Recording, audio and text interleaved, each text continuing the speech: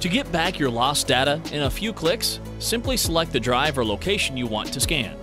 Choose the file types you wish to restore, and let Advanced File Recovery list the missing files.